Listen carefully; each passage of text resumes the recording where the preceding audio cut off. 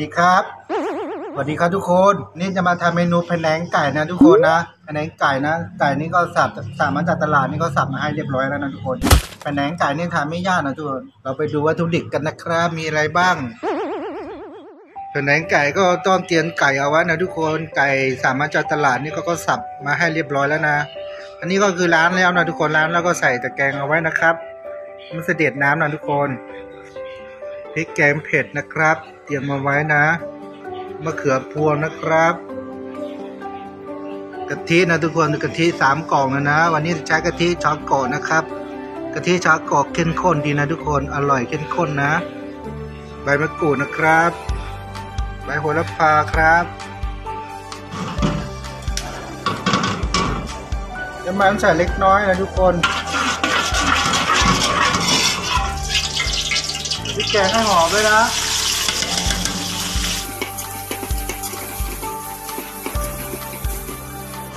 นี่เลยนะทุกคน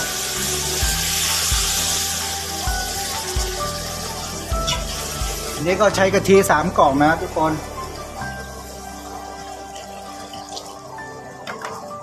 เราจะใส่นมสดไปด้วยนะให้ละลายเป็นเนื้อเดียวกันนะ ใส่ไก่เลยนะครับ ใบมะกรูดนะทุกคน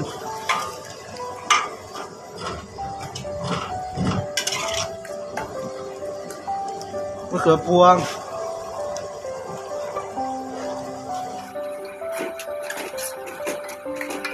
เติมน้ำซุปลงไปหน่อยนะทุกคน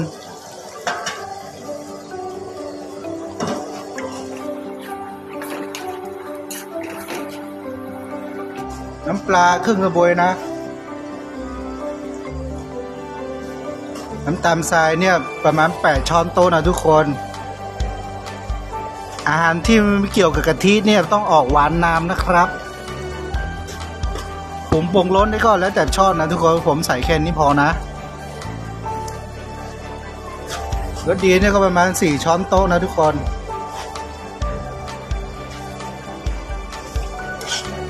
เราจะปิดฝาไว้ประมาณ 3 20 นาทีนะ ว้าวว้าวที่เรียบร้อยนะครับแผนใส่โหระพา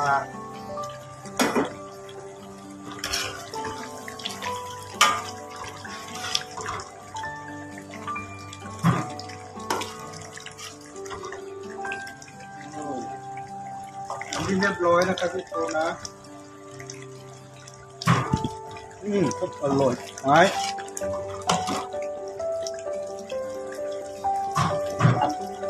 ปิดไฟ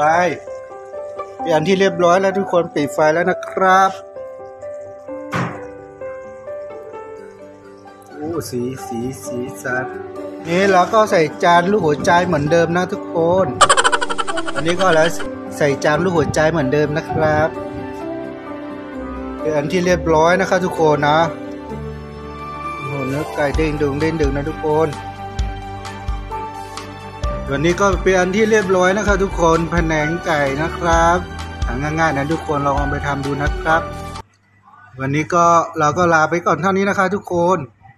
พี่น้าเจอกันใหม่นะครับอย่าลืมฝากกดติดตามช่องกุ๊กบ้านนอกด้วยนะครับทุกคนลาล้วครับสวัสดีครับผม